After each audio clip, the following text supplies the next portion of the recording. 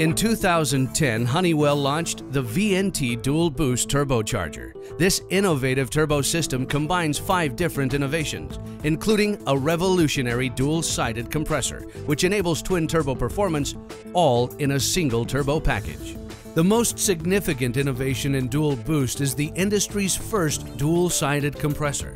Lightweight, yet highly efficient, its small footprint allows the turbo to fit between the V-banks of the engine, shortening the flow of exhaust gas to make the driving experience more responsive.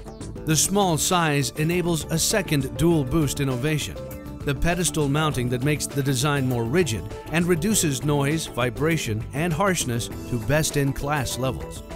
New U.S. regulations calling for an 80% reduction in nitrogen oxide emissions led to two more innovations.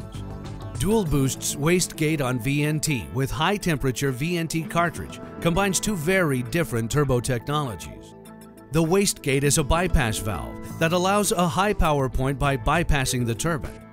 The high temperature VNT cartridge is a Honeywell pioneered turbo technology that optimizes turbine efficiency at low flows and drives EGR. The combination provides drivability and enables emissions reduction.